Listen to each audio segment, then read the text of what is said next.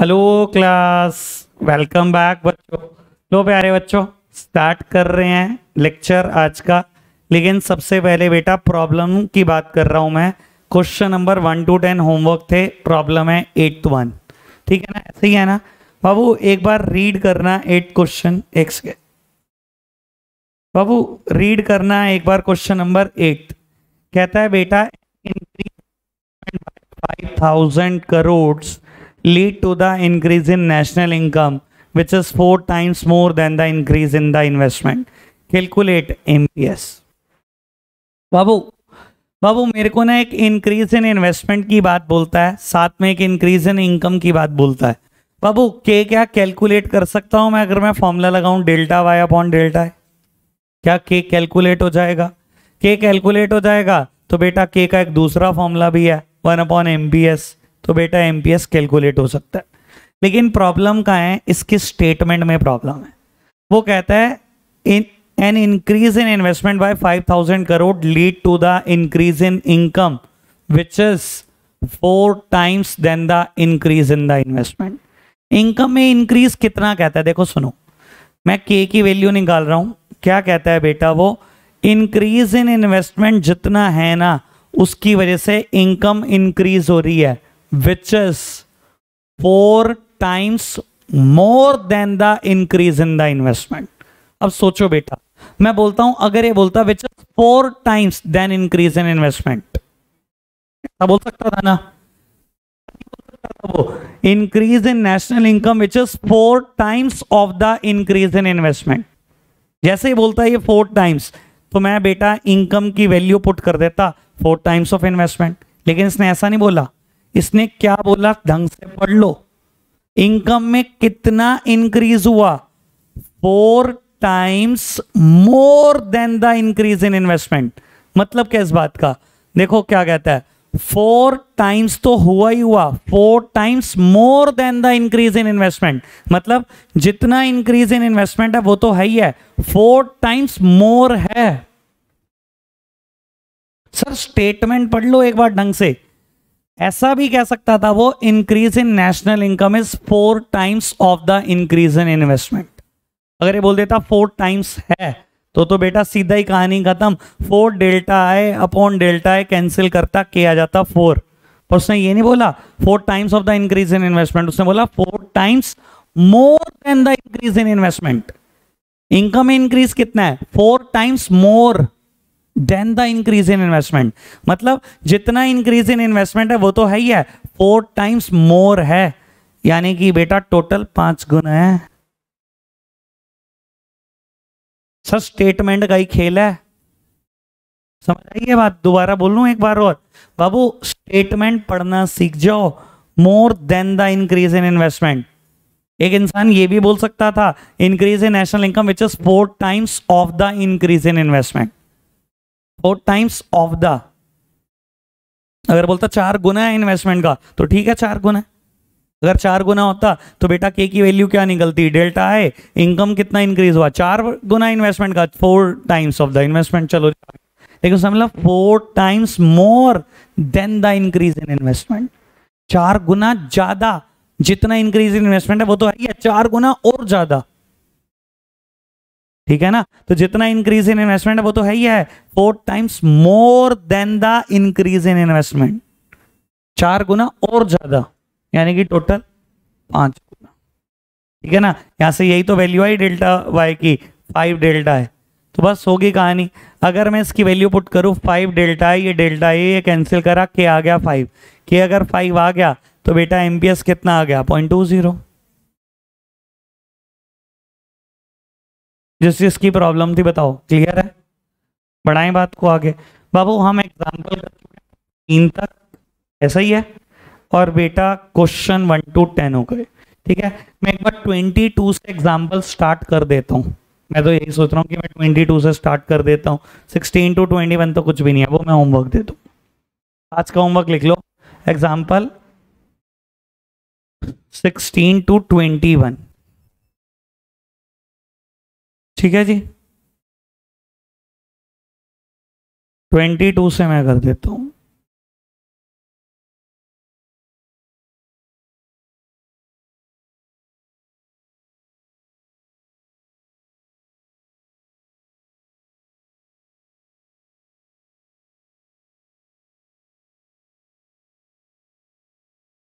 चलो जी। बाबू एग्ज़ाम्पल नंबर ट्वेंटी टू से मैं कर रहा हूँ ट्वेंटी वन तक होमवर्क है।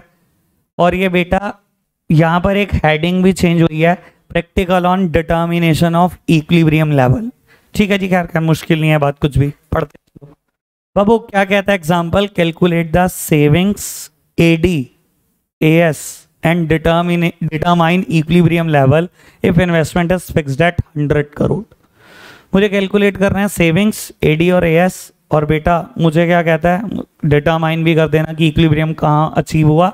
और बेटा क्वेश्चन कहता है investment is fixed at hundred crore यानी कि whatever the level of income में भी इन्वेस्टमेंट इज़ हंड्रेड ठीक है जी income zero hundred two hundred three hundred four hundred five hundred और कंजम्पशन में बेटा फिफ्टी से शुरू करके फिफ्टी का ही गैप है। ठीक है जी? लो, प्यारे बच्चों, करते हैं स्टार्ट बाबू एग्ज़ाम्पल नंबर ट्वेंटी टू है।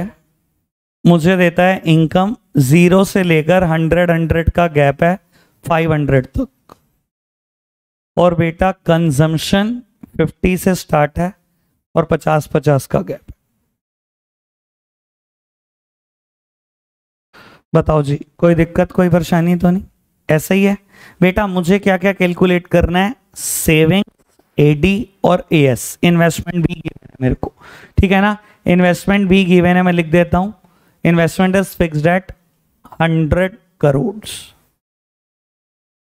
ठीक है ना? मैं एक बात पहले भी बोल चुका हूँ, दोबारा बोल देता हूँ। बाबू, देखो, जैसे आप ये लिखते हो ना, मैं मोस्ट ऑफ़ द टाइम मैं ये गलती करता हूँ, मैं सी आर करोड़ लिखना भूल जाता हूँ। तो न्यूमेरिकल करते टाइम ही मैं बता देता हूँ। मैक्रो के शुरू में ही लिख दिया करो फिगर्स इन जो भी दिया हो लैक्स तो लैक्स करोड़ तो करोड़ थाउज़ेंड तो थाउज़ेंड जैसे भी दिया हो। तो सबसे पहले लिख दो आपकी ड्यूटी खत्म हो गई। ठीक है जी बाबू, अब सेविंग्स निकालनी है। कितना सिंपल बात होगी बाबू। इनकम या तो कंज्यूम होती है, या तो सेव होती है। तो सेविंग कैसे निकल सकती है? Y minus C Y minus C minus fifty zero fifty hundred one fifty two hundred कोई दिक्कत तो नहीं? इजी बाबू, और क्या कैलकुलेट करना है? वैसे तो देखो, कहानी तो यहीं पूरी हो जाती। अगर सिर्फ़ इतना का होता? डिटरमाइन इक्विलिब्रियम तो भाई इक्विलिब्रियम दो जगह पर होता है ना as per Keynes here it is equals to S and S is equals to I तो भाई at the income level of 300 S और आई बराबर हैं. यानी कि इक्विलिब्रियम पॉइंट पता लग गया हमारे को 300 की इनकम ठीक है ना? लेकिन उसने मुझसे एडी और एस मांगा था। तो भाई, निकाल दो। एडी सी प्लस आई और ए एस का फॉर्मूला बताएगा मुझे।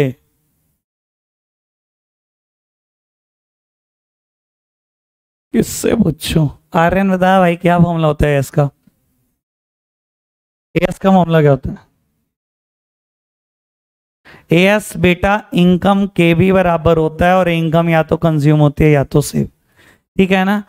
सी प्लस आई बाबू 150 200 250 300 350 और 400 कोई दिक्कत तो नहीं। और ए एस किसके बराबर है? इनकम के। लो जी तो ये रही बेटा AD equals to A S ठीक है ना? तो इक्लिब्रियम तो वहीं पर आना था जहाँ एस और आई आया। ठीक है? सिंपल क्वेश्चन धीरे धीरे लेवल बढ़ता चलेगा बेटा। चलो जी। बाबू स्टार्ट करते हैं next one question number twenty three अब एक बार ना सिर्फ़ क्वेश्चन रीड करना मेरे साथ साथ। देखते हैं क्या पता आप भी कर पाओ खुद से। Suppose investment in the economics fixed at forty चालीस हज़ार लेवल पर। The consumption expenditure at the different level of income is given in the following schedule. मुझे इनकम 200 से स्टार्ट करके 700 तक देता है with the gap of 100 consumption से स्टार्ट करता है 80 का गैप है। ऐसा ही है। सर, मुझसे पूछता क्या है? On the basis of given schedule answer the following question calculate A D and A S for all the level of income her level of income पे ए डी एस तो निकल ही जाएगा। At what level of income will the economy be in be at equilibrium तो sir, जहाँ S और I बराबर हो या ए डी और ए एस बराबर हो, वहाँ पर इक्लिब्रियम अचीव हो जाएगा। इनकम बता देना। Third one state the level of income where total saving is negative जहाँ कहीं भी नेगेटिव आए बता देना, इस इनकम के लेवल पर सेविंग नेगेटिव आ रही है। और बता देता हूँ, सिर्फ़ 200 पे आएगी। यहीं से पता लग रहा है मुझे तो। इनकम माइनस कंजम्पशन यही तो आएगा माइनस बीस। यहाँ ज़ीरो यहाँ से पॉजिटिव ठीक है ना? थोड़ा जल्दी जल्दी सोचो। चलो जी fourth one are saving and investment equal at the equilibrium level of income का होगा। ये तो करने की ज़रूरत नहीं है। यस लिखो तुम। ठीक है ना? क्या कह रहा है? वो इक्विलिब्रियम पर एसओ राई बराबर होगा। तो सर एसओ राई जहाँ बराबर होता है, वहीं तो इक्विलिब्रियम होता है। क्या बात कर रहे हो? ठीक है ना?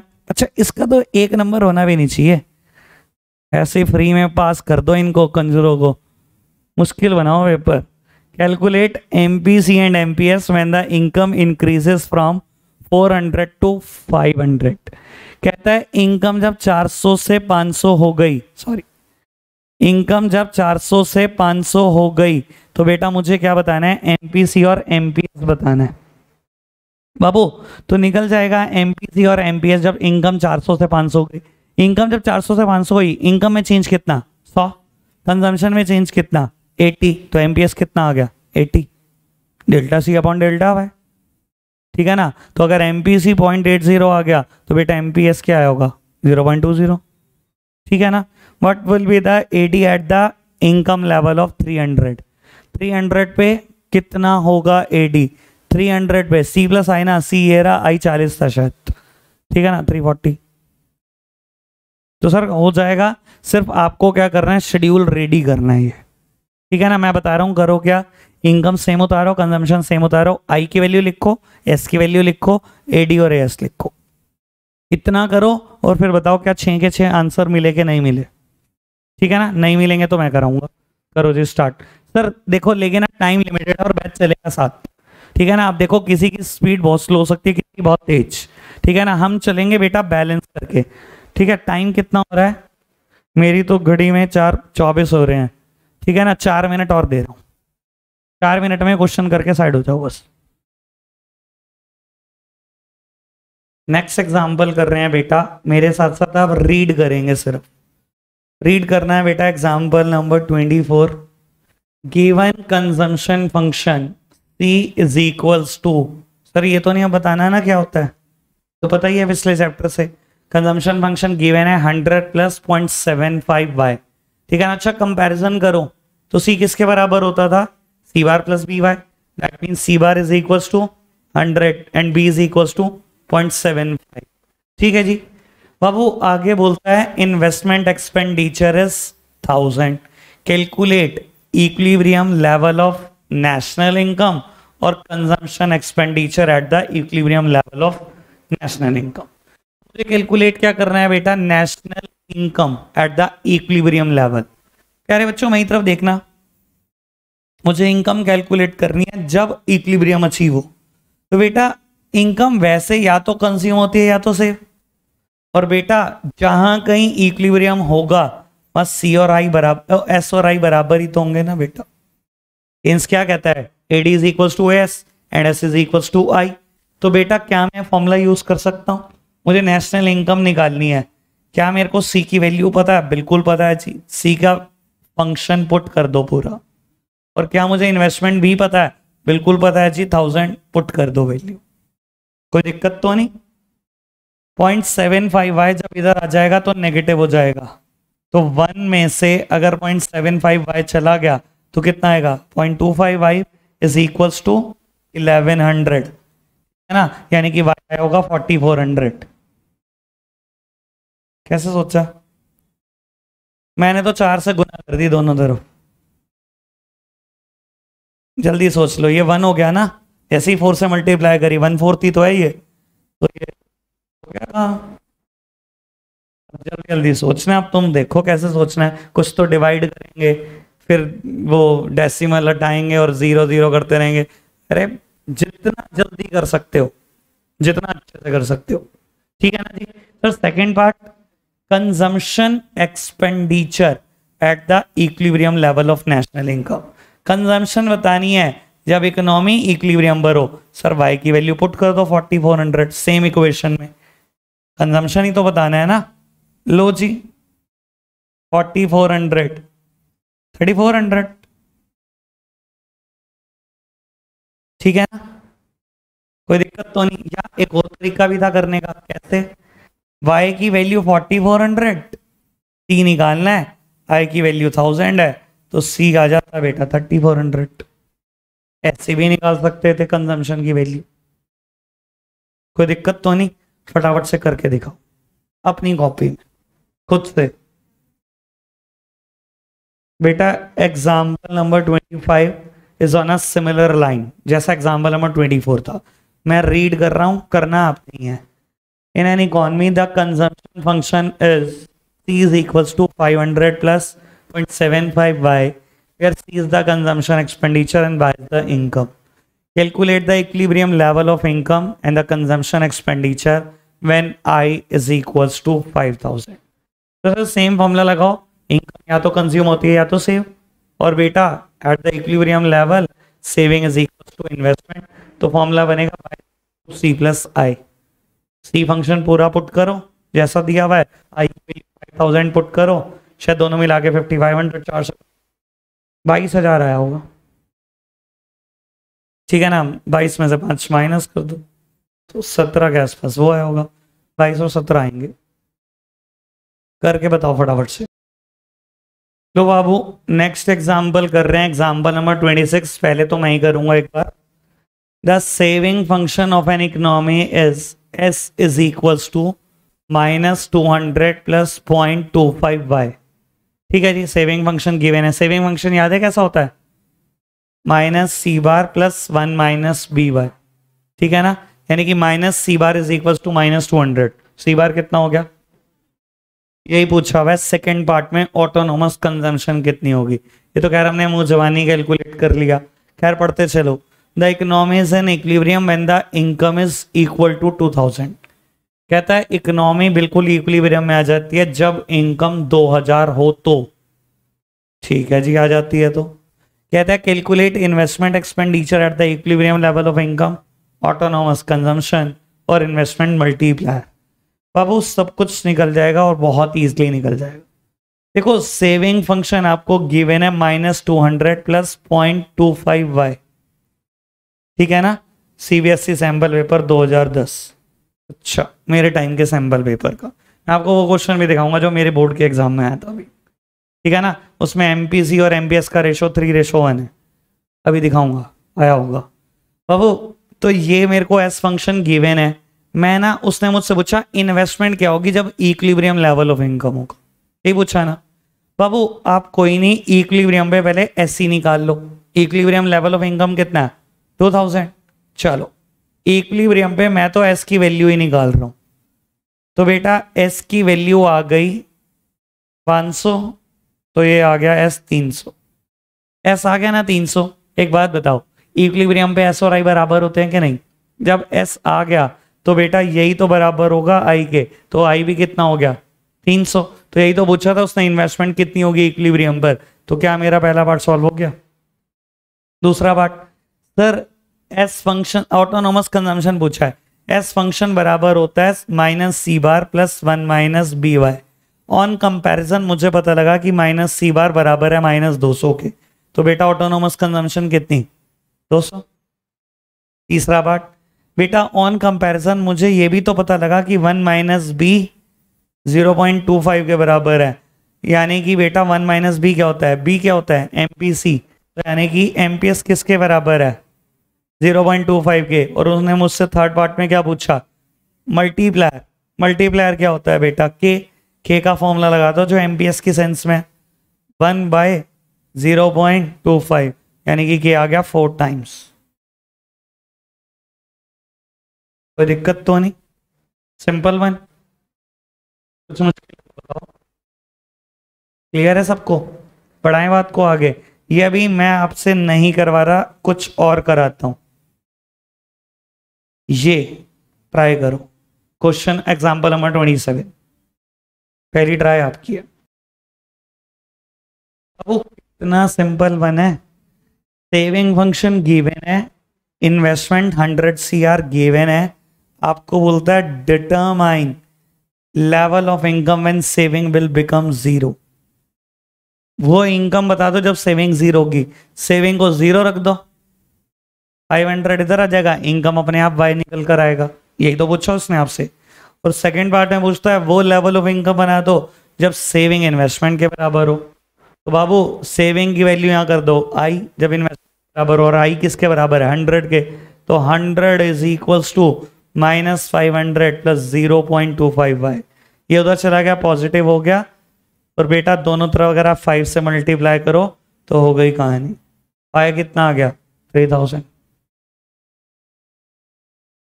सिंपल वन ठीक है जी नहीं अब वो आज एग्ज़ाम्पल इसमें थर्टी वन तक है इस बुक में, जो मैं करा रहा हूँ। थर्टी वन में एक भी नहीं बचेगा। अभी करने हैं। चलो जी, करके दिखाओ ये वाला। पहली ट्राई आपकी है।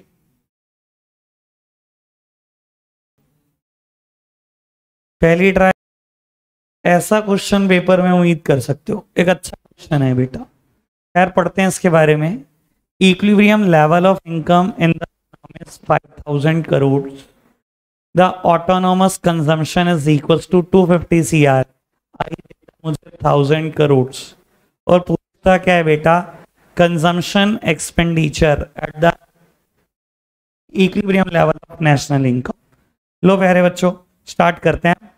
जो जो पूछेगा एक बार वो मेरे को आप बता देना। मुझे बेटा नेशनल इनकम गिवन है फाइव थाउज़ेंड ऑटोनोमस कंजम्पशन और इन्वेस्टमेंट शायद थाउज़ेंड मुझसे पूछा, बेटा, ये सब ये इक्विलिब्रियम लेवल पे इनकम है। मुझसे इसने पूछा कंजम्पशन कितनी होगी at equilibrium level of income सबसे पहले तो मैंने फॉर्मूला लिखा इनकम या तो कंज्यूम होती है या तो सेव और इक्विलिब्रियम होगा तो बेटा एस और आई बराबर होगा। और ये मुझे फाइव थाउज़ेंड गिवेन है। कंजम्पशन मुझे निकालना है और इन्वेस्टमेंट मेरे को गिवेन है। C is equals to four कोई दिक्कत तो नहीं। सेकेंड पार्ट में मुझे क्या निकालना है? एमपीएस सेकेंड पार्ट में मुझे क्या निकालना है? एमपीएस निकालना है। नहीं तो देखना बेटा, बड़ा सिंपल तरीके से एमपीएस निकल सकता है। एट द इक्विलिब्रियम लेवल पूछा है मुझसे एमपीएस की वैल्यू क्या होगी? तो बेटा देखो सिंपल सी बात, आप एस फ़ंक्शन लगाओ। एस फ़ंक्शन किसके बराबर होता है? Minus C bar plus one minus B मतलब एमपीएस वन माइनस बी का मतलब क्या होता है? एमपीसी तो वन माइनस एमपीसी मतलब एमपीएस क्योंकि इसमें एमपीएस ही निकालना है, इसलिए मैं सीधा इसको एमपीएस ही लिख रहा हूँ मल्टीप्लाइड बाय द इनकम क्या बेटा मेरे पास एस है? है। क्योंकि बेटा इक्विलिब्रियम लेवल पर एस और आई बराबर होते हैं। आई तो है ना। आई कितना है बेटा? थाउज़ेंड तो ऐसी तो है मेरे पास। क्या मेरे पास ऑटोनोमस कंजम्पशन भी है? बिल्कुल है बेटा। टू फिफ्टी एमपीएस मुझे निकालना है और इनकम भी है मेरे पास बेटा फाइव थाउज़ेंड ये उधर जाएगा पॉजिटिव हो जाएगा twelve fifty is equals to MPS multiplied by the income ठीक है जी? तो बेटा एमपीएस आ जाएगा, ये डिवाइड में आ जाएगा। MPS is equals to point two five यही है। क्या निकालना है थर्ड पार्ट में? इन्वेस्टमेंट मल्टीप्लायर सेविंग फ़ंक्शन लिखना है। लो, ये तो और टुच्छा अच्छा हो गया। Saving function S is equals to minus C bar plus one minus B Y Babu autonomous consumption 50 है तो ये minus two fifty one minus B मतलब एमपीएस ये मैंने अभी कैलकुलेट करा। ये लो, ये लिख दिया सेविंग फ़ंक्शन के की वैल्यू तो बेटा के और सिंपल हो गया. के किसके बराबर है? One upon M P S K यानी कि के आ गया होगा फोर टाइम्स चलो fifth one break even level of income अब सुन लो बेटा. बाबू break even level of income break even की दो प्रॉपर्टी थी पिछले चैप्टर में. Y is equals to C and S is equals to zero बाबू, ये रहा एस फ़ंक्शन एस को रखो ज़ीरो जो इनकम आएगी, वो break even level of income ठीक है ना, कितनी आएगी? थाउज़ेंड एक हज़ार आ रही होगी ना? हाँ इतना तो सोच ही लिया। ठीक है ना इनकम एक हज़ार आ जाएगी, यहाँ पे कैलकुलेट कर लेना। कोई दिक्कत तो नहीं। बाबू, करते हैं एक आध क्वेश्चन और, फिर करेंगे बैच को लिए मुश्किल मुश्किल।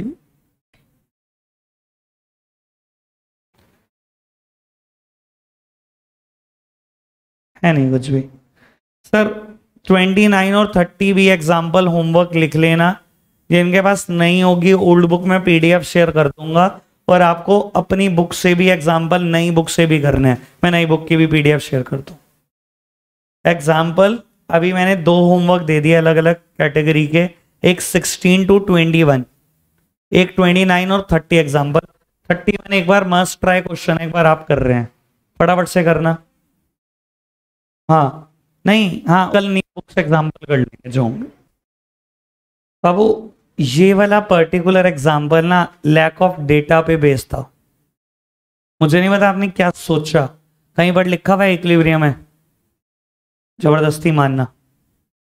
मैंने बोला लैक ऑफ़ डेटा था इसमें।